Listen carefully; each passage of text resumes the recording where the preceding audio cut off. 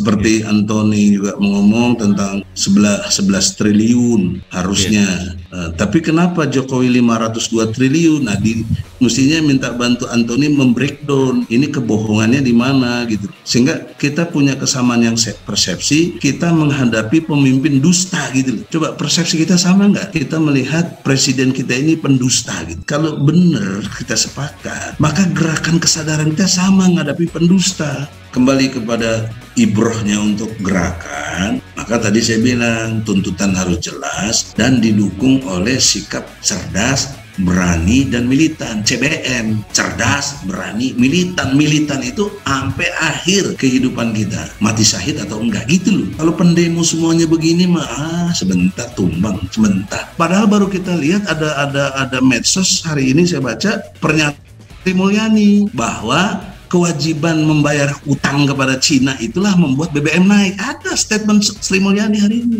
Itu kan kurang ajar gitu loh. Bohonginnya beban masyarakat katanya. Beban BBM itu berat sekali, maka perlu dinaikin. Tentang itu kan pengakuan menteri.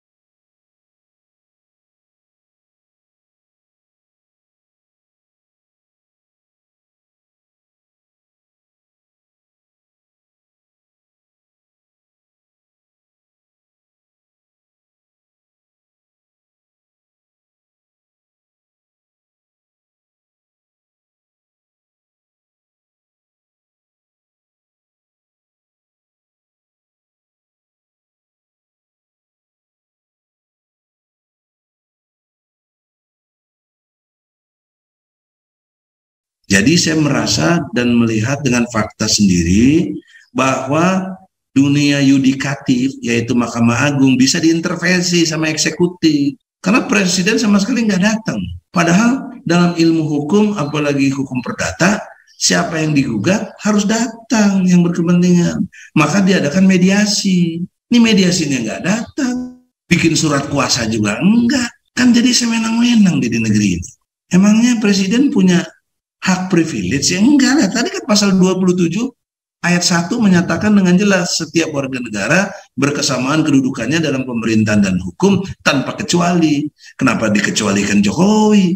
Nah itu dalam konteks gugatan. Dan di seluruh dunia Mas Lama tidak ada presiden yang digugat. Anda lihat di negara mana? Nggak ada. Yang ada di kudeta yang ada dibunuh yang ada di demo yang ada dijatuhkan di digugat ke pengadilan enggak sekalipun Amerika yang yang katanya negara udah 200 tahun demokrasinya. Enggak ada cuma di Indonesia yang bisa dilakukan itu. Nah itu eh, satu terobosan hukum yang luar biasa. Cuma saya kan dianggap biasa-biasa saja ya sudah nanti sejarahnya yang mencatat bahwa itu. Nah gelindingan gelindingan dari itu apa yang saya gugat dulu kan terbukti. Ini presiden banyak nggak benernya. Apa DPR RI juga saya gugat. Apa yang saya gugat? DPR RI disfungsional, tidak ya. mengerjakan tugas DPR adalah pengawasan. DPR tidak melakukan pengawasan kepada presiden. Presiden seumur umur menurut saya nggak pernah dipanggil oleh DPR, nggak pernah. Coba anda lihat kapan? Hmm. Iya. Nggak pernah dipanggil sengaja untuk pertanggungjawaban. Nah, mana mana.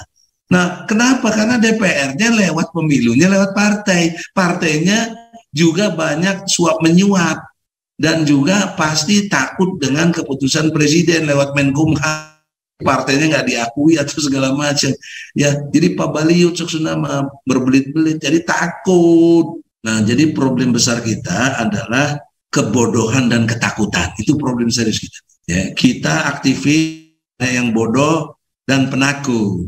Kalaupun bergerak pakai deal deal dal deal ya sudah hancur gitu. Ya. Jadi karena itu kembali kepada fokus kita menamakan diri tim pembela ulama dan aktivis di mana pun ulama yang diganggu, aktivis mana yang dipenjara, saya bantu. Hmm. Ya. Yang terakhir saya bantu Habib Rizik juga, ya, juga Napoleon Bonaparte juga. Dia aktivis dalam walaupun dia polisi. Dalam arti membela agama Islam yang dihina oleh si Muhammad Kece itu.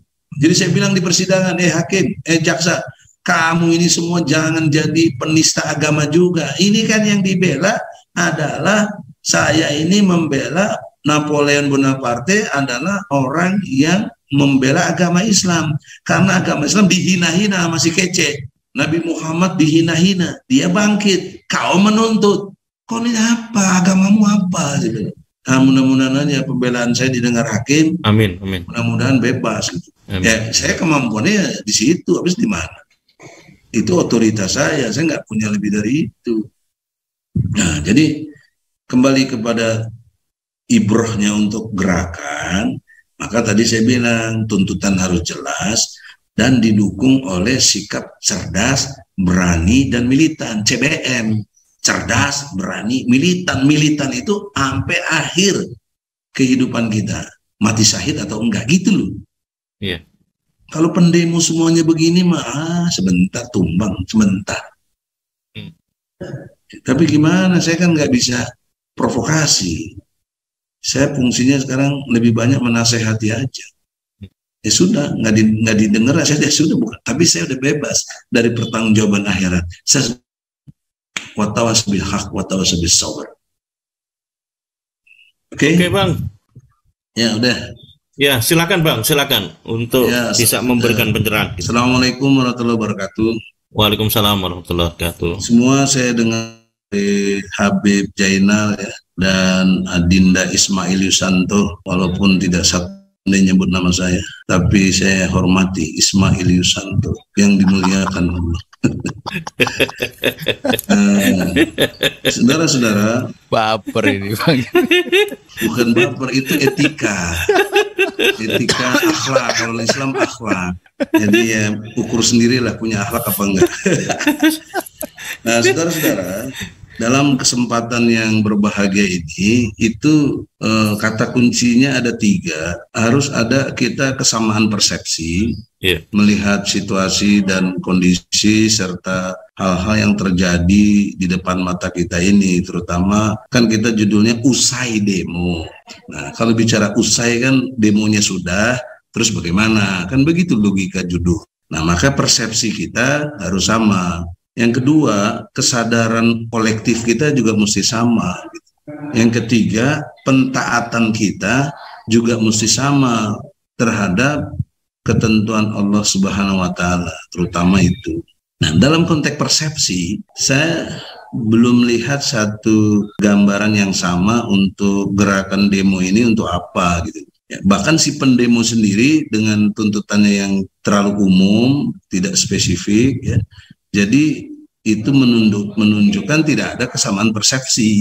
Oleh karena itu, saya coba gagasan saya, persamaan persepsi antara kita ini harus sejalan, yaitu di samping istilah turunkan harga dan lain sebagainya tadi, perlu dispesifik seperti yang diungkap Adinda Ismail harga-harga barang yang spesifiknya itu bagaimana merumuskannya jangan cuma asal demo tapi enggak data seperti Anthony juga mengomong tentang 11 11 triliun harusnya yeah.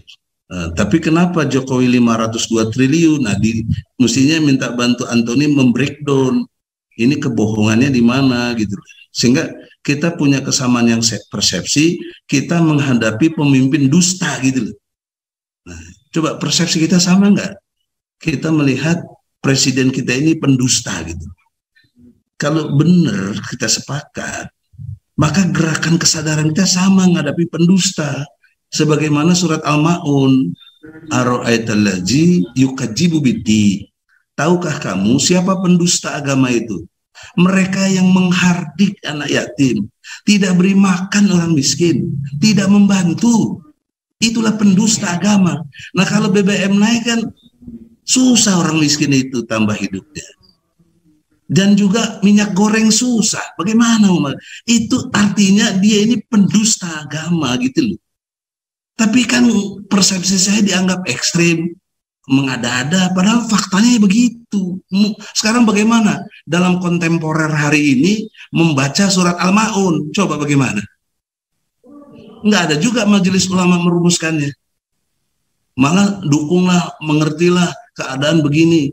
Padahal baru kita lihat ada ada ada medsos hari ini saya baca eh, pernyataan Mulyani bahwa kewajiban membayar utang kepada Cina itulah membuat BBM naik. Ada statement Sri Mulyani hari ini. Itu kan kurang ajar gitu loh. Kok bohonginya beban masyarakat katanya. Beban BBM itu berat sekali, maka perlu dinaikin. Tentang itu kan pengakuan menteri.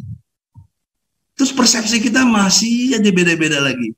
Tidak sama dalam memahami kita hidup dalam menghadapi pemimpin yang zolim, pendusta gitu. Nah kalau sudah ngerti begini yang bilang tuh Allah loh pendusta itu. Definisinya jelas, tidak beri makan orang miskin, tidak membantu. Nah kalau naikin BBM apa memberi makan? Apa membantu? Kan enggak. Tambah miskin kita kan. Kan begitu hitungannya. Apalagi minyak goreng susah. Nah, itu kan enggak sama persepsi kita kesadaran kita nggak sama, pentaatan gerakan kita jadi nggak sama gitu. Nah sekarang belum belum belum terlambat gitu loh. Karena ada jagoan yang punya masa banyak jutaan Ismail Yusanto ya juga ada Habib dan kalau saya kan nggak punya lah saya masya Allah aja ya itu mari sama nggak persepsi kita lebih banyak Habib pemimpin Bang. yang dusta pemimpin pendusta Dalilnya surat Al-Maun. Saya tidak mengklaim-klaim, tapi kalau saya keliru ya diluruskan. Di mana? Sekarang saya bukan ustadz, saya advokat aja. Nah, oleh karena itu, kalau kita sama persepsi, mari kita bangun kesadaran yang sama. Bagaimana kesadaran kita? Jangan mau dipimpin pendusta. Mau dipimpin pendusta harus sama gerakannya. Bagaimana dalam gerakan demo ini harus ada Jokowi itu mundur kalau nggak sanggup merubah-rubah keadaan. Kita udah kasih kesempatan kok. Ya. Saya gugat tahun lalu 2021. Saya udah kasih kesempatan sampai sekarang nggak malah gugatan saya ditolak. Ya sudah.